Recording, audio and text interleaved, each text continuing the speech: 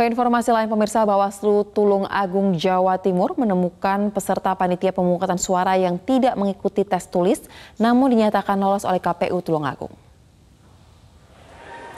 Setidaknya ada lima nama calon PPS yang tidak ikut tes tulis pada 9 Januari lalu namun dinyatakan lolos seleksi. Mereka berasal dari tiga kecamatan, yakni Kecamatan Tanggung Gunung, Kalidawir, dan Rejo Tangan. Pihak Bawaslu sudah meminta kepada KPU Tulung Agung untuk menindaklanjuti temuan tersebut dengan melakukan verifikasi kembali hasil seleksi tes tulis PPS. Bawaslu juga tengah melakukan kajian untuk menentukan adanya pelanggaran. Sementara itu pemirsa Ketua KPU Tulung Agung, Susana, mengakui temuan tersebut. Ia beralasan hal ini terjadi karena faktor kesalahan petugas saat proses input data.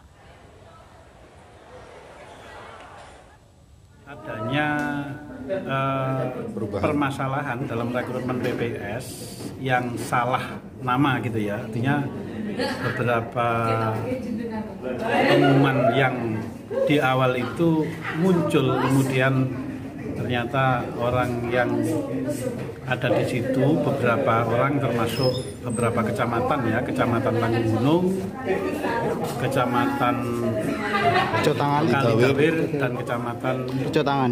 Tangan